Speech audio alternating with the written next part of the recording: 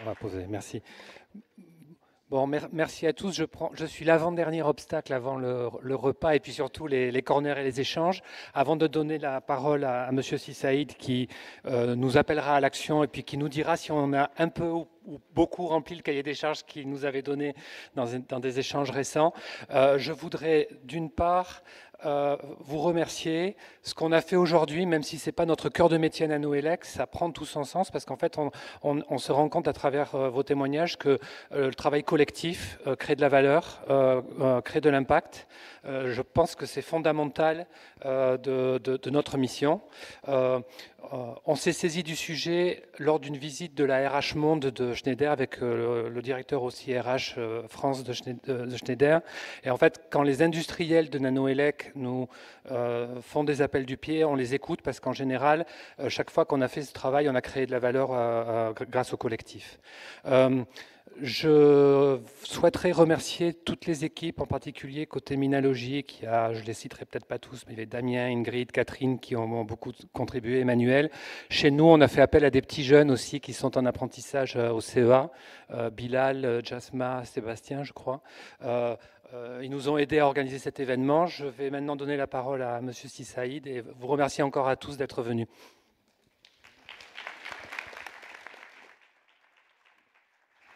Bien, bah, merci à toutes et à tous. Merci vraiment pour la participation, à tous ceux qui, ont pris la parole, mais tous ceux aussi qui ont participé aux actions qui ont été menées, qui ont assisté aussi et qui ont désormais des idées pour les nouvelles actions. La, conclusion que, je souhaiterais en tirer, et, c'était une conviction que, je commençais à avoir depuis plusieurs mois, c'est que l'Isère, et, notamment les, acteurs que vous êtes, euh, était déjà un territoire dynamique. Historiquement, c'était un territoire dynamique qui avait des, recrutements, qui avait des, opportunités qui étaient présentes. Mais le, sentiment que je construis depuis, plusieurs mois, et, je pense qu'il est partagé de, plus en plus au, niveau de l'État à, Paris et, par de très nombreux acteurs de l'État au niveau du gouvernement, c'est que l'Isère peut passer désormais du statut de territoire dynamique au statut de territoire exceptionnel vraiment d'être un territoire qui est à la pointe de ce qu'on attend en termes de décarbonation, en termes de réindustrialisation et en termes d'innovation. Euh, on voit tous les projets qui sont là, on voit la dynamique qui est là aussi pour l'attractivité, et on voit bien que désormais, euh, maintenant que ces emplois sont là, on a devant nous un, édifice à construire parce que passer de territoire dynamique et territoire exceptionnel, on voit qu'on doit changer d'échelle. On doit changer d'échelle, notamment sur l'attractivité.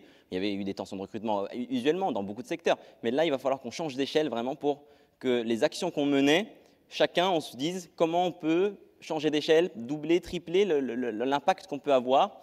Euh, et ça, ça, va passer euh, justement par les, corners pendant lesquels vous allez pouvoir échanger avec, les, acteurs sur les actions qui ont été proposées.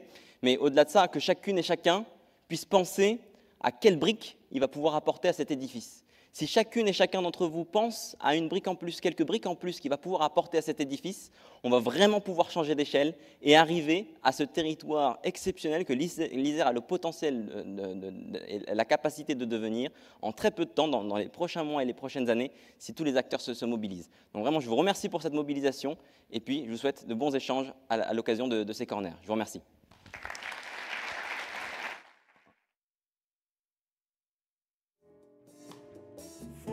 di tuoni scroscianti emozioni di quando